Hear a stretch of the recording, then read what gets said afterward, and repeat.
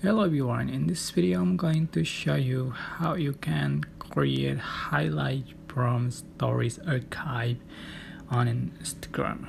Alright, so you have archive stories you can see on your profile and select three line in the top right corner select archive so you can find the stories archive right here.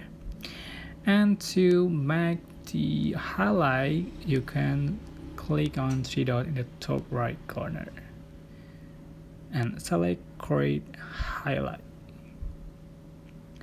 So select the stories you want to add to your highlight and then click next so um, just create the title of the highlight for example um, one and then click add in the top right corner.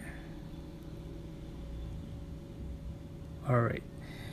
So the highlight that's created will appear on the profile I hope this tutorial was helpful for you guys. Don't forget to like, comment, share and also subscribe. If you have any question, please leave it in the comment section down below. So thank you so much for watching.